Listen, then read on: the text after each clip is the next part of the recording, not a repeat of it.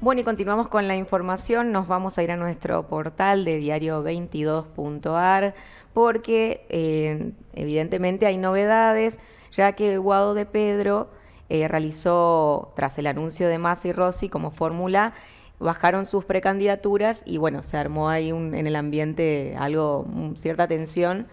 ya que la fórmula surgió luego de una reunión de masa con Cristina en el Senado y generó que Guado de Pedro y Daniel Scioli, que habían lanzado sus precandidaturas durante este jueves, finalmente se bajen y opten por la unidad colectiva por sobre las aspiraciones individuales.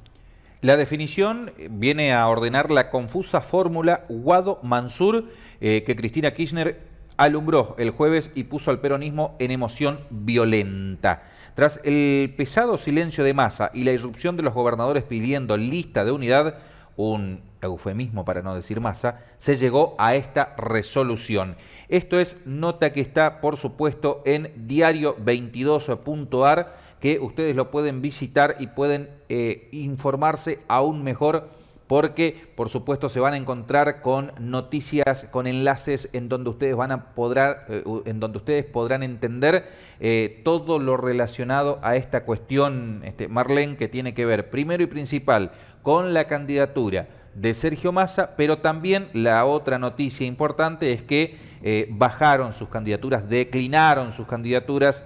Eduardo Guado de Pedro y Daniel Osvaldo Scioli. Así que entonces visite el diario más leído del norte grande argentino. Exactamente, diario22.ar.